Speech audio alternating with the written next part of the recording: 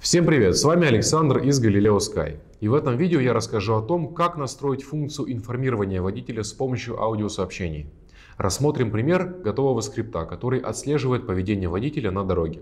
Все терминалы Galileo Sky, которые поддерживают работу с SD-картами, также поддерживают и функцию воспроизведения аудиофайлов на внешний динамик. Мы рекомендуем использовать динамики с сопротивлением не менее 8 Ом. Терминал поддерживает аудиофайлы в формате WAV, mono 16 кГц и 16 бит. Длительность аудиофайла не должна превышать 4 минуты. Воспроизведение аудиофайлов применяется во многих функциях терминала. Например, в автоинформаторе, в системе EcoDriving, а также в любых скриптах EasyLogic. Давайте рассмотрим один из примеров для EcoDriving и скачаем готовый алгоритм из библиотеки алгоритмов на сайте Galileo Sky. Заходим на сайт 7gis.ru, наводим указатель мыши на надпись «Обучение» в верхней части окна и в появившемся меню выбираем пункт «Библиотека алгоритмов EasyLogic». Отметим пункт «Эко-драйвинг» и в предложенном списке выберем последний алгоритм – звуковое оповещение водителя о нарушении стиля вождения. Нажимаем кнопку «Скачать» и сохраняем алгоритм в любом удобном месте. Запускаем PO-конфигуратор и переключаемся на вкладку EasyLogic. В верхней части окна выбираем пункт «Открыть» и находим скачанный скрипт.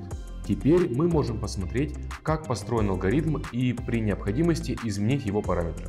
Как видно из цепочки алгоритма, первым делом терминал проверяет, определены ли координаты, и далее проверяет текущие параметры – ускорение, угловое ускорение и скорость на превышение установленных лимитов. В случае превышения лимитов терминал будет воспроизводить аудиофайл с соответствующим звуковым предупреждением. Обратите внимание на то, что параметр ускорения проверяется дважды. В первом случае в проверке стоит знак больше, во втором случае знак меньше.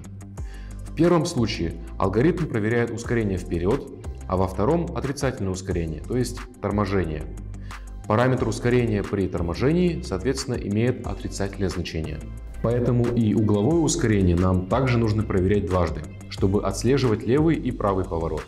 Добавим ветку проверки углового ускорения в одну сторону и в другую.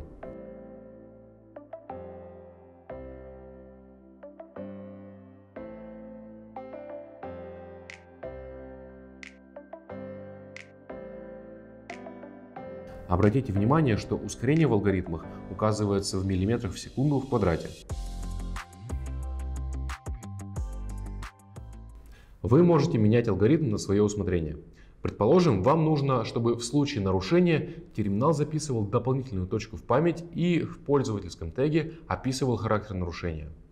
Для начала условимся, что в случае резкого ускорения данные записываем в пользовательский тег значение 1, а в случае резкого торможения 2.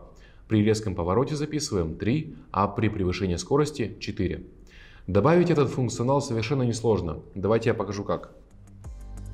Для начала, после каждой проверки добавляем запись соответствующего тега. Я удаляю линии ветки верно после каждого блока проверки и добавляю блоки «Записать тег».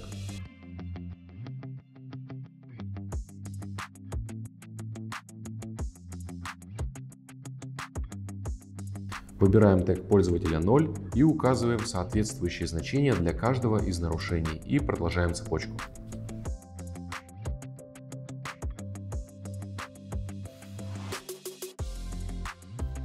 Теперь нужно добавить блок записи точки в случае нарушения. Убираем связи после воспроизведения аудиофайлов и добавляем блок «Сохранить точку».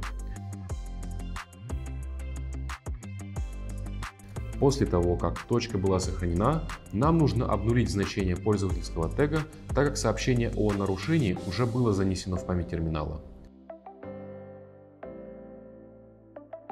Добавляем отсутствующие связи и все. Скрипт готов.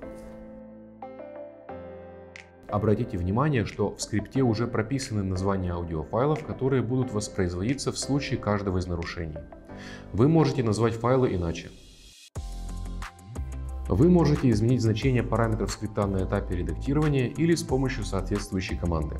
В алгоритме присутствует соответствующий блок. Вы можете отправить команду style и через запятую указать значение для параметров ускорения, торможения, углового ускорения, а также скорости.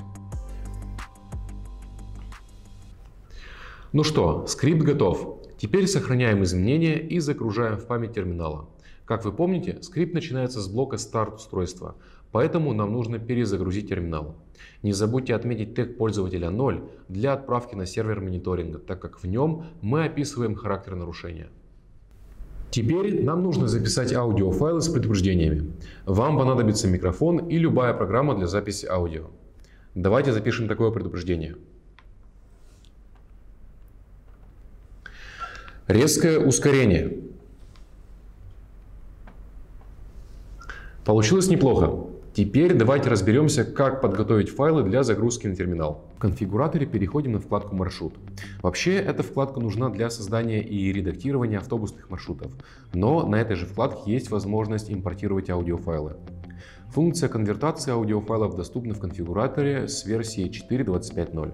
Вставляем карту памяти в CardReader и выбираем ее как место для сохранения аудиофайлов. Далее нажимаем плюс и выбираем файлы для конвертирования после чего нажимаем кнопку «Начать конвертацию». Ну что, аудиофайлы сконвертированы и сохранены на карте памяти. Теперь вставляем карту памяти в терминал и наш алгоритм полностью готов к работе. Теперь нужно настроить наш объект на сервере мониторинга для обработки новой информации.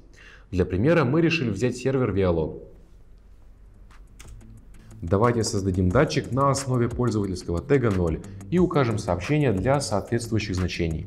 Это можно сделать в свойствах объекта на вкладке «Датчики».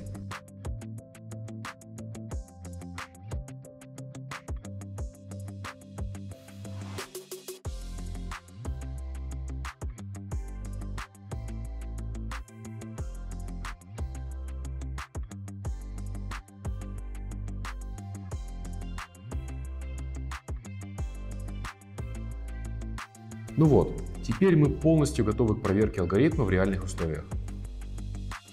Мы разместили терминал в уже привычном нам Nissan Note. Подключили к нему антенны и динамик для воспроизведения предупреждений. Динамик для воспроизведения аудиофайлов мы подключили к выходам терминала VOL 0 и VOL 1.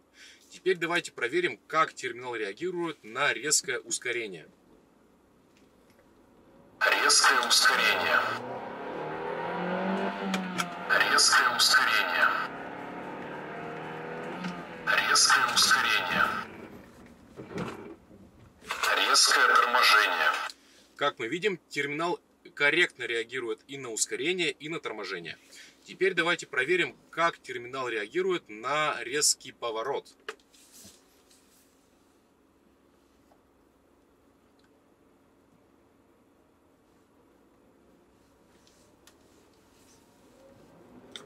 Резкое ускорение. Крутой поворот. Крутой поворот. Крутой поворот. Резкое торможение. Ну что, наш терминал корректно реагирует на все мои действия, значит наш скрипт работает. Итак, Давайте проверим, как подобные действия выглядят со стороны сервера мониторинга на примере Vialon.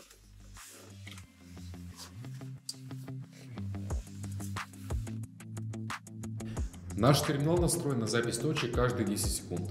Однако вот здесь мы видим дополнительные записи и сообщения о соответствующих нарушениях. Вот здесь мы видим запись о резком ускорении, а вот здесь записи о резком торможении и резких поворотах. Итак, мы разобрались, как, используя готовый алгоритм, реализовать функцию звукового оповещения водителя об агрессивном вождении. Также добавили функцию отправки данных на сервер мониторинга и, как видите, все достаточно просто и не требует много времени. Напомню, что вы всегда можете изменить функционал готовых алгоритмов, либо добавить свои функции в зависимости от ваших задач. На этом все. С вами был Александр из Galileo Sky. Пока!